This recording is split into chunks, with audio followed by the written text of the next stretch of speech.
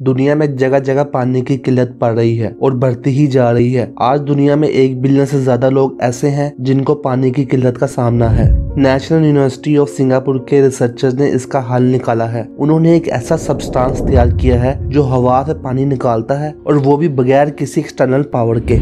ज़मीन के पास पानी के फाइनाइट रिसोर्सेज हैं, यानी ये कभी भी खत्म हो सकते हैं। इसीलिए साइंटिस्ट ने नए रास्ते तलाश कर रहे हैं ताकि लोगों को पानी फ्राहम किया जा सके। जिसके बाद साइंटिस्ट ने ये रास्ता निकाला है कि हवा से पानी निकाला जाए, जो कि नेशनल यूनिवर्सिटी ऑफ़ सिंगापुर के साइंटिस्ट ने हासिल कर लिया है।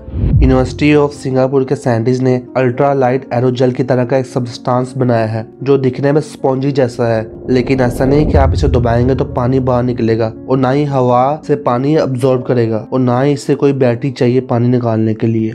आम ह्यूमिड डे में ये एरोजल सब्सटेंस सिंगापुर में एक के जी एरोजल से सत्रह लीटर पानी बनाएगा, वो भी पूरे एक दिन में। इस सब्सटेंस को लॉन्ग मोलिकुल्स ऑफ़ पॉलीमर से मिलाकर बनाया गया है। पॉलीमर अपने केमिकल स्ट्रक्चर से पानी को अपने पास खींचता है और रिपेल करता है। स्मार्ट एजल पानी के मॉलिक्यूल्स को हवा से अपनी तरफ़ खींचता है, फिर इनको कंडेंस करके लिक्विड में बदलकर पानी बाहर निकालता है। जब दिन में सूरज की रोशनी ज़्यादा हो तो एरोजल ज़्यादा तेज़ी से काम करता है और तकरीबन 95 परसेंट वाटर वेपर्स को पानी में तब्दील करता है।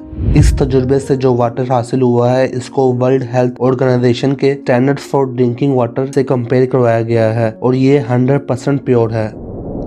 दुनिया में नेशनल यूनिवर्सिटी ऑफ़ सिंगापुर के अलावा और भी बहुत टीम्स इस पर काम कर रही थी और हवा से पानी निकालने के लिए तजुर्बात कर रही थी।